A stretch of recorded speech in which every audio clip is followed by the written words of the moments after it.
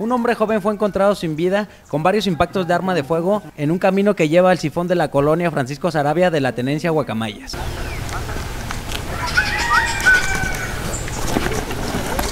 El suceso fue descubierto por habitantes de la zona cuando se percataron que en el camino se encontraba un cuerpo tirado ya sin vida, motivo por el cual dieron aviso de inmediato a las autoridades. Al lugar arribaron elementos del ejército mexicano y personal de la Procuraduría General de Justicia, quienes confirmaron que en el lugar se encontraba ya sin vida el cuerpo de Andrés Baltasar, de 25 años, vecino de la tenencia de Guacamayas. Apenas aquí trae un balazo, por aquí va, y otro, y otro por aquí. por aquí, y apenas se le estaban sanando los balazos.